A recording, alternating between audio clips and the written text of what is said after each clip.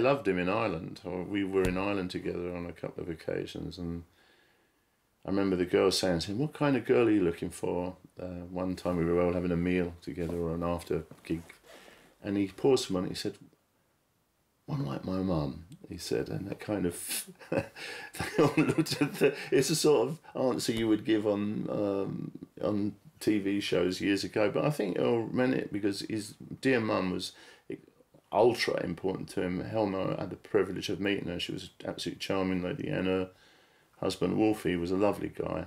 And they thought the world of Earl, and they just relished his success and the people that he knew, the great people. The reason I didn't get married, I think, is because if I were to get married, I wanted something at the same standard that I'd seen around me. I thought that's what marriages should be. And they both loved each other without question. And I didn't find any women like that uh, who would just, we just, it was, it seemed to be so natural for the pair of them. It didn't seem to be any effort involved. And I'm sure you know, chatting up women that you don't know is always a stress. And I get the feeling that when it works, there's no stress, it just is natural. You just somehow fall into each other's arms because you were meant to be.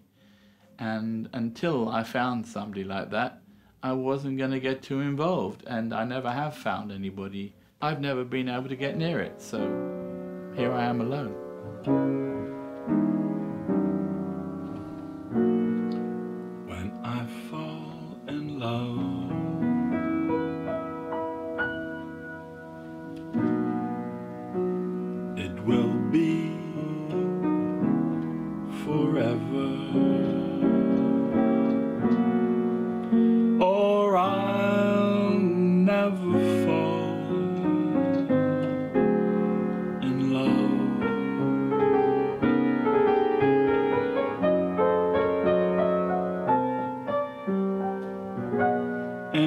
This world like this is.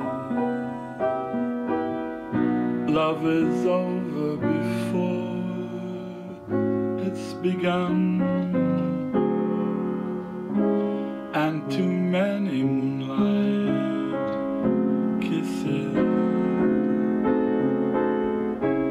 seem to cool in the warmth of the sun don't know how that would work with what he does because he's not your regular person. He doesn't do normal things. He's not going to flop down on the sofa and watch TV all night. He's constantly creating and writing and composing and doing his, his opera and his piano music and his bossa and his jazz. He's just so full on. I mean, I think it's a little sad.